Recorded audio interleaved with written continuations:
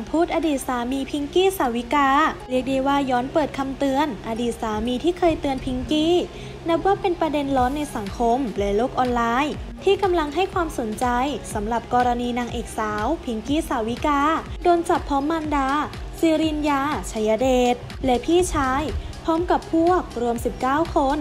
โดยทางด้านพิงกี้สาวิกากับคุณแม่ ได้ถูกคุมตัวเข้าทันทัศสถานหญิงกลางในทันที เป็นที่เรียบร้อยเป็นเวลา 5 วัน และทางด้านทันทัศสถานหญิง ซึ่งทางด้านพิงกี้สาวิกา และคุณแม่ได้ยื่นคำร้อง พร้อมหลักทรัพย์เป็นโฉนดที่ดินขอปล่อยตัวชั่วคราว แต่ในเวลาต่อมาเห็นว่าข้อหามีอัตราโทษสูง วันนี้เราจะพาทุกท่านย้อนเปิดคำเตือนอดีตสามีที่เคยเตือน อดีตสามีไฮโซดังเคยเปิดใจ หลังประกาศเลิกลาว่า ผมพูดตรงๆนะ ผมสงสารน้องเขา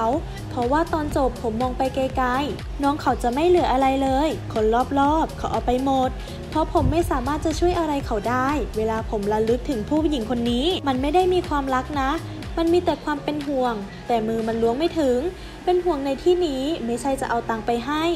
ในมุมของคนอายุ 40 กว่าปี ถ้าดำเนินชีวิตแบบนี้ ตอนจบจะเหลืออะไร